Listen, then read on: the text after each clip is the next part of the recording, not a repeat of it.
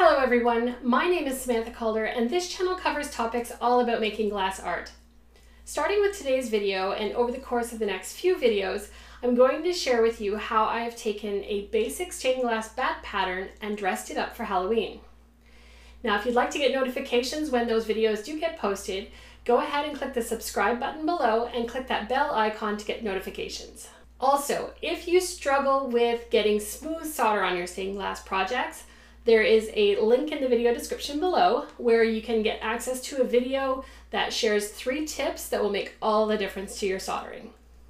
Now let's get on to today's project. The bat design I'm using for this project is one that I have designed myself and is available for purchase on my website.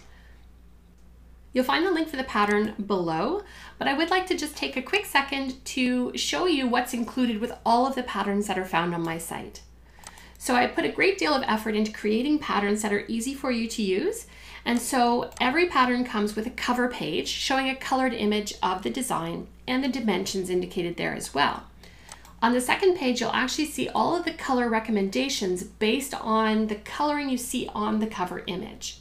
Following that is the pattern itself, and some patterns will include additional instructions or specific details that will help you in constructing the design you're making. The bat doesn't have that included. So here you can just see a printout of what this particular pattern looks like. So once we get to the actual pattern pages, you can see that there are margins down the edges of the pages. So the easiest thing to do is to just grab a ruler and draw some straight lines in there so that when you're cutting it out, you're cutting a straight line. If you just want to eyeball it, feel free to do that. So after cutting these margins off of the pages, all you need to do is use some clear tape to stick the design together. If you choose to label them, you can. I don't pre-label them because everybody has their own method for labeling the pieces. Uh, I myself like to label them by the sections that I'm going to use for the colors. So for my bat, I'm using two different colors of glass. The inner wings and the inner ears are one color, and then the top of the wings, the body, the head, and the outer part of the ears are all going to be a second coloring. So in this case, you see me labeling them left and right with numbers for one color, and then left and right again with letters for the second color. Feel free to label the pattern however you would like. Once that's complete, you can just Take some scissors or pattern shears, whichever you like to use. I personally like to use scissors, so that's what I'm using here. And then simply cut out your pattern pieces so that they're ready to trace onto the glass. So here you can see I'm using a silver colored permanent marker and this is specifically to mark on that purple glass that I'm going to be using. When you're tracing your pattern pieces onto a dark colored glass, it's important that the lines still be easily visible so that when you're cutting, your cut lines are much more exact. If you're using a dark colored marker on a dark colored glass, it gets very tricky to see what you're doing. So here I'm just playing with these pattern pieces and laying them out. This is scrap glass that I had in my scrap bucket. And so I was just trying to make sure that the rippled design on this particular glass all goes the same direction in those wing pieces for when it's finished and cut out.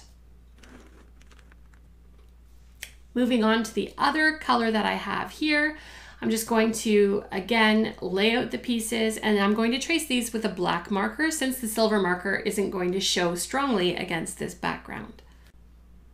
Just remember that it's always important to think through how you're going to cut the pieces apart as you're tracing them onto the glass. So lay them out accordingly. And the first cut, uh, obviously we missed it on the camera, uh, ran out of battery, and so here we are. So the head is the first piece being cut out, and I'm just going to use my cutting tools to score the glass and then break off each piece. So as you can tell, the footage in the video has been sped up a little bit.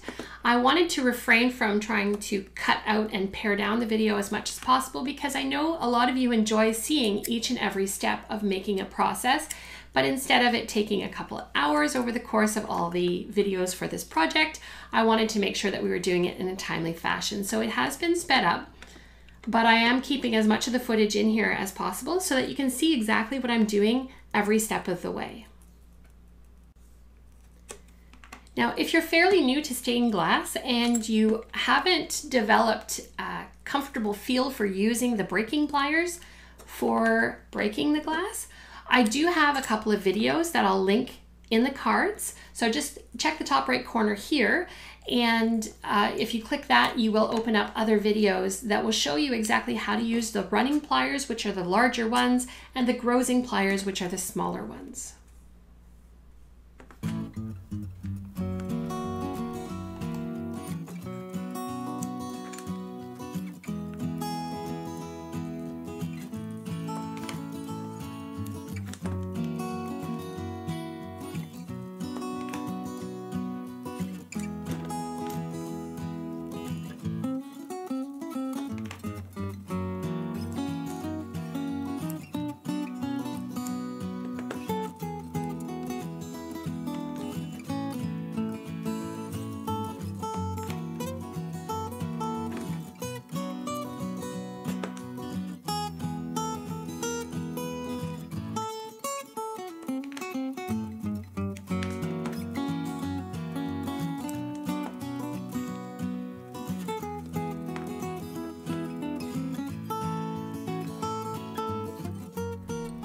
You'll notice that when I cut out these long skinny pieces of glass, I always make one of the break lines to separate all the pieces, one of the actual lines of the piece of glass.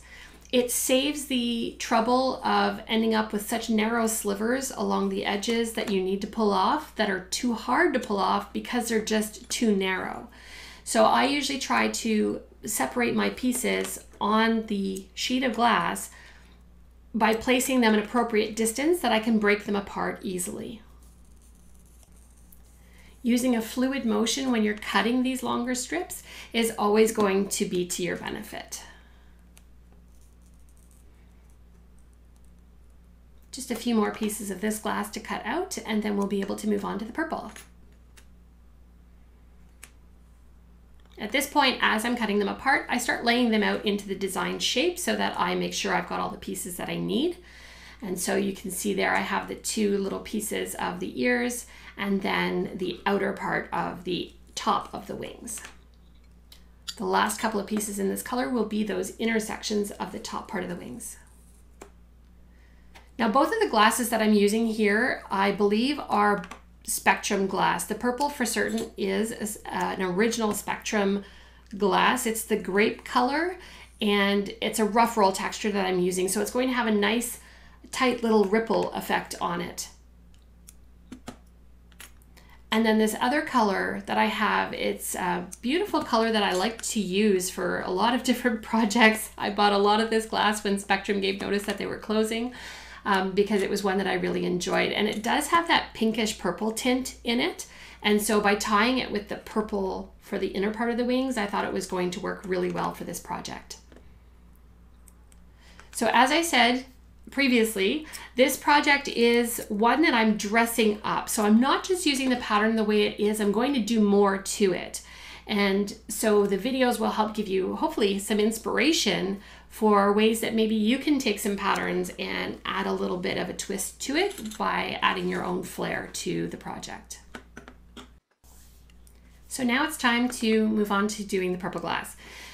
You're going to see that I use that broom a lot throughout the video, and that's simply because when you're cutting the glass, you want to make sure that there's absolutely no crumbs of glass or any unevenness on the surface you're using when scoring the glass because that could cause a fracture when you push on the top and there's something underneath it. So keeping a little broom nearby is a great way to keep your counters clean while you're cutting the glass.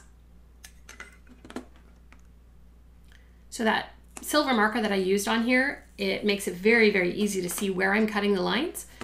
And it means that my lines are going to be a little bit more accurate and that in turn uh, results in less time being spent on the grinder.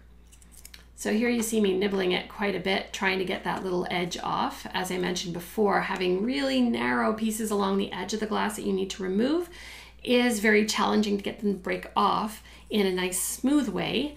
And therefore you do end up with a little bit more chipping when that happens.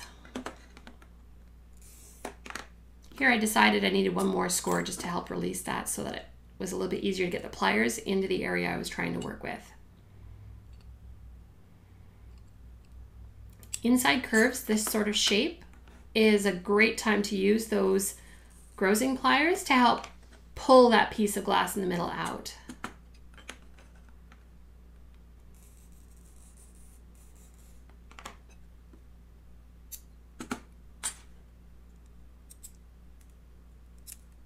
By trimming away as much of the glass as you can in the cutting stage, you really do reduce the amount of time you spend on the grinder. And I'm rather curious, what part of the process of making stained glass do you find to be the hardest?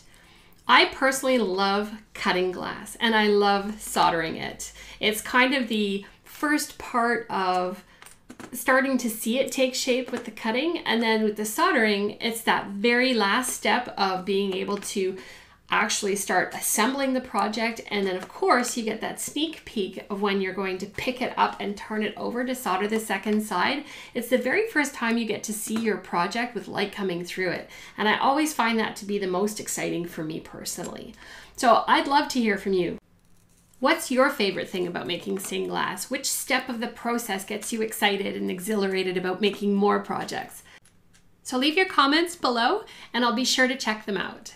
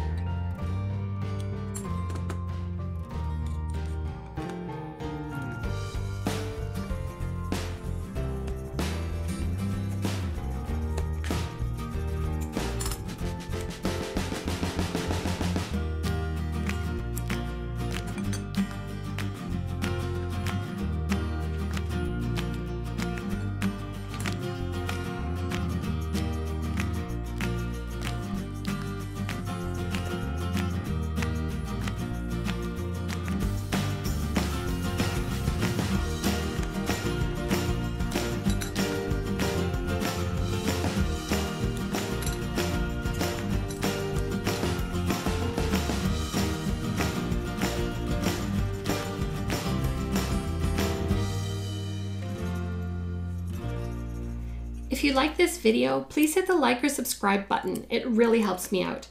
I'll see you guys next week in the second video of this series. Thank you so much for watching.